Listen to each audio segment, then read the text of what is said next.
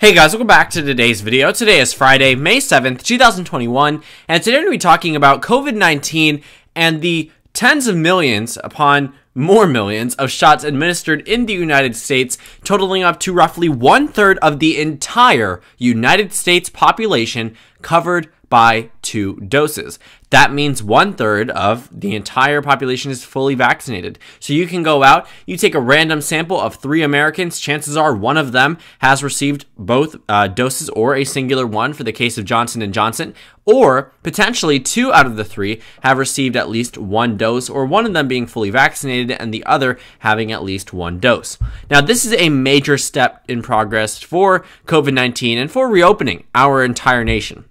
The reason why vaccines seem to have dwindled is largely because certain United States states have refused to get the vaccine compared to other states. If you're looking at the high concentration of vaccines, it does moderately reflect the 2020 election results. The states that voted for Joe Biden very solid in terms of their overall uh, vaccine distribution and their vaccine numbers in a number of ways. And I honestly attribute this largely to the fact that there's a lot of misinformation out there and there's a general distrust from the right wing towards the government mandating this vaccine in many ways or just spreading the vaccine itself or just the lack of attention on COVID 19.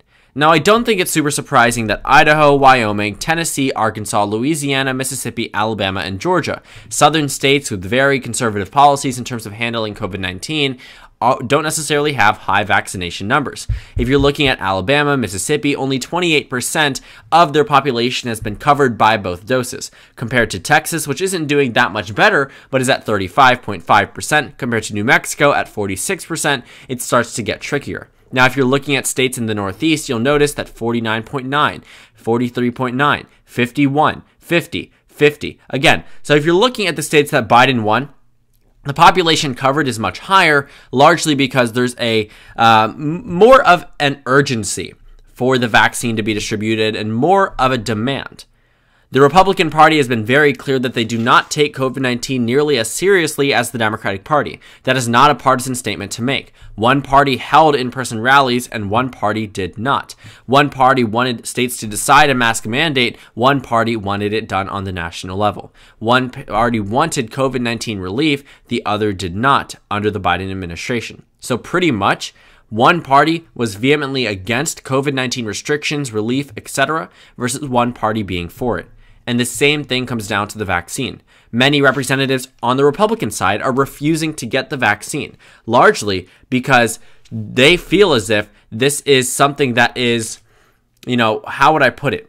A drug, something that is meant to, uh, I mean, in a literal sense, it technically is a drug, but you know what I mean. The negative connotation behind that, that it's something meant to kill off, uh, to make people sterile, whatever it is. I can tell you now personally, I have received both doses.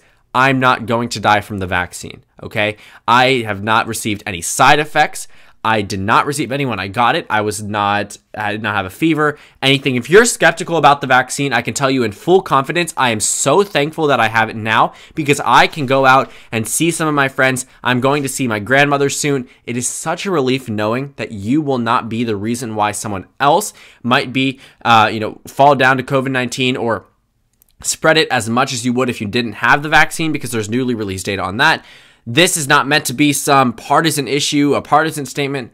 Please just get it if you can. I understand you might be skeptical, you might not be necessarily be trusting in it, but understand the people behind it, the research behind it, the 20 years of research in mRNA. If you can get Pfizer, if you can get Moderna, if you can get Johnson and Johnson, I suggest it. I have had nothing negative happen to me. I know nothing negative will happen to me because of the vaccine. Um, and I am very trusting in it, and I really advise you to do so. I promise you, it is worth it. The relief and the sense of security you have with it is so worth it. But let's continue talking about this. So, with one third of the United States population vaccinated, what does this mean for Joe Biden? Well, he's pretty much holding steady. We talked about this little honeymoon period that was only supposed to last within the first four months, but seems to be drawing on longer and longer and longer. The approval rating has pretty much stayed the exact same. Unfortunately for Biden, and fortunately as well, he's a boring president. Okay, we've returned to the sense of normalcy. We have returned to that point. The tweets aren't as, you know, media noteworthy as they were previously. the statements sent out by the White House aren't as media worthy as they were previously. Uh, the Biden administration has been handling things a lot more, not secretive, but more contained and more calculated rather than the Trump administration, which President Trump was never necessarily politically correct, nor were his advisors or those closest to him. So President Trump didn't necessarily treat the presidency as you know the way that Joe Biden is. Joe Biden seems to be very much calculated, scripted, etc., what you would expect of a president versus Donald Trump who did speak directly to the voter, which I think was largely the appeal from some of those uh, people that did support him. However, it was a turnoff for many people, which is why he lost re-election. So Biden I think is really just trying to keep his popularity above water trying to remain that popular president. Now, he's approved of by 13.3%. There have been times where it's been much higher. At some point, it was plus 20 percentage points. And then other times, it was actually narrower, right around here, where you're talking about being approved of by around 11 points, uh, you know, 11.6%. So it really depends, but pretty much, you know, Biden has been above 50% the entire time of his presidency so far and we're about 108 days in.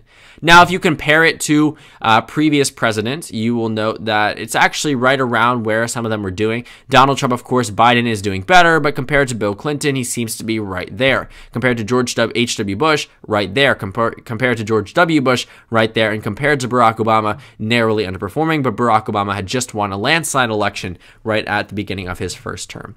So Biden's doing well. And the reason why he's doing well is because of COVID 19. It's because of these new vaccination numbers.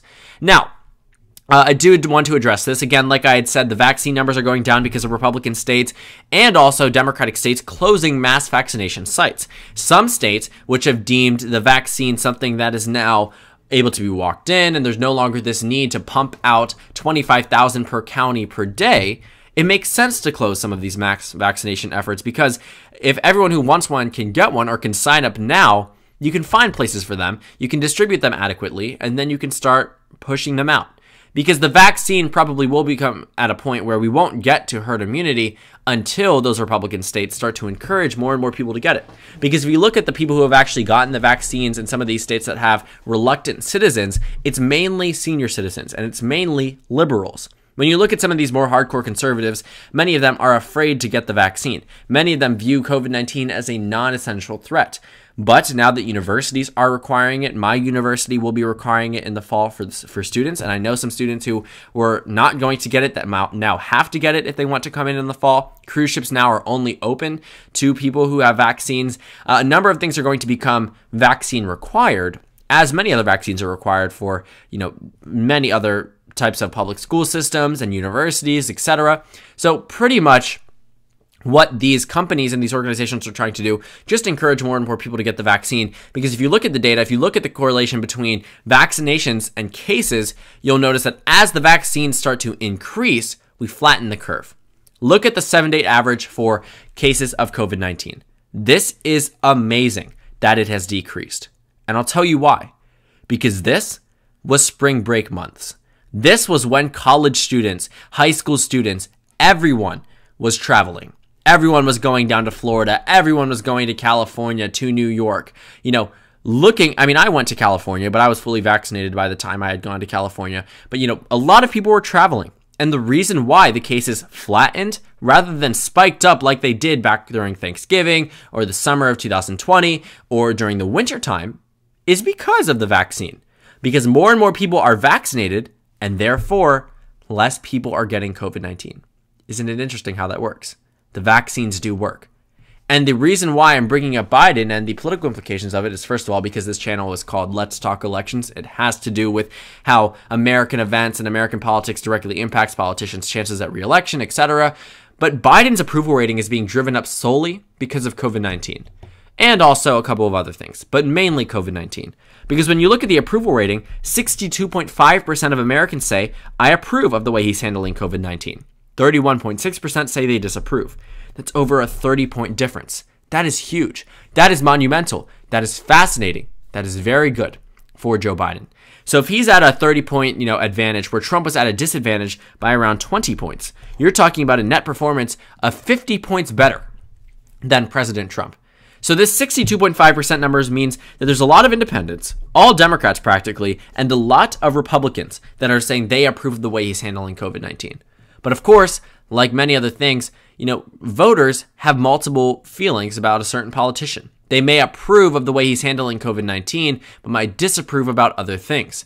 Looking at RCP, they also track this exact thing. It's plus 32 on the Real Clear Politics website. But if you look at some other issues, it's actually still in the positive in terms of handling the economy, plus 11.7% after today's uh, abysmal job report, which also deserves its own video, an abysmal job report for the Biden administration, a very, you know, I would say embarrassing one at that. Uh, 11.7% is where Biden is approved of in terms of handling the economy. And this might not hold after that jobs report, but it's still something that's adding to his approval rating. It closely reflects actually what the national numbers are saying 11.7% versus 11.8%.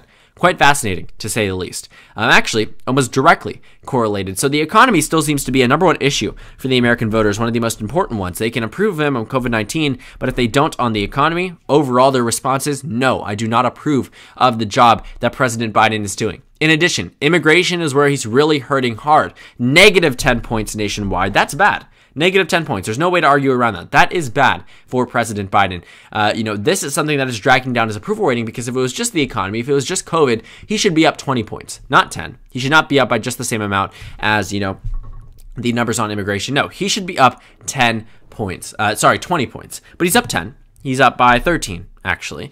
Um, and that, you know, moderately makes sense based off immigration numbers, economy numbers, econo- economy numbers, handling of the COVID 19 virus, but pretty much I will say that Biden would have fared much better had COVID 19 been as big of an issue as it was last year. But it is sort of fizzling out, which is why Biden's approval rating might actually fizzle out as well. And also, like I'd said, it's not just a number of these issues. Biden doesn't necessarily have the highest approval rating on certain things. International trade, it's only 43%. Taxation, 45%. Corruption, 42%. Immigration, 42%. Where is he approved of on? Unifying the country. That makes sense. He's a different voice, a different style of campaigning, a different style of uh, you know doing the job of his president. That makes sense. The environment, yes, that makes sense 100%. Jobs probably going to change. This was April 2021. Before that April job report, we're talking about what was expected to be 1 million jobs added, just 266,000 jobs added. That is a good number in a normal year. It is not a good number now. The unemployment rate actually rises to 6.1%. So Biden was supposed to get the country back on track. People are looking at this and saying, hold on a second. Is it getting on back on track if the unemployment numbers going up, if the jobs being added reaches just 266,000 when we were expecting 1 million, you know, underperforming expectations, raising the uh, uh, unemployment rate, that approval rating on jobs is going to dip. And therefore, Joe Biden's approval rating is going to dip because the things holding him up, racial inequality, you know, jobs, coronavirus, economy, unifying the country, corona, coronavirus is probably going to stay the same. I'll tell you that. But the economy and jobs is probably going to take a dip. So if he's up 11 points in terms of the economy, that'll probably go down. If it goes down to plus five, you're looking at the overall approval rating going down as well because they're closely correlated and probably will follow a very similar tune. Because coronavirus is something that may be a thing of the past. It's slowly becoming, it's slowly but surely, surely becoming a third world country problem. You know, with one third of the country vaccinated, this makes the priorities shift. The priorities shift to jobs, the priorities shift to healthcare, the priorities shift to the economy, the priorities shift to anything but COVID 19 because so many people have been vaccinated. Almost everyone, you know, in the states that wants to have a vaccine appointment or has wanted to been vaccinated has already been vaccinated, or like I just said, will have an appointment to get the vaccine. So almost all the people that care have had the ability to do so. Now, our average cases, uh, average doses per day went from being around 3.3 million, nearing 4 million, all the way down to 2 million. This is right about where we were around early March. This is not good necessarily, but it makes sense because we have less and less people to vaccinate and less and less vaccination centers. There's no longer this drastic need for mass vaccination sites if the majority of that area has been vaccinated, or the plurality, or the majority of those who want to be vaccinated or who are eligible to be vaccinated. Because it's going to become a lot a lot less of a threat once 50% of the country is fully vaccinated meaning vaccination numbers per day might go down to just 1 million doses per day. Because when we were going up it was not going to continuously increase. Um, i thought it might actually reach 4 million at some point. It ended up dipping down below then But the reason why it's dipping down is because Biden and the Democrats are getting people vaccinated, and people themselves are putting themselves up to get vaccinated, including myself, including my parents, including many of my friends. And it's honestly a very good choice, and it is a very good step, a major step for Biden and his administration with uh, 100 plus million fully vaccinated citizens, with one third of the United States population fully vaccinated. It's a major step for the American people. It's a major step in general, just for our Republican. And I, uh, I am so proud that we have gotten to this point, and I think we just need to keep pushing forward. We need to get more and more people vaccinated.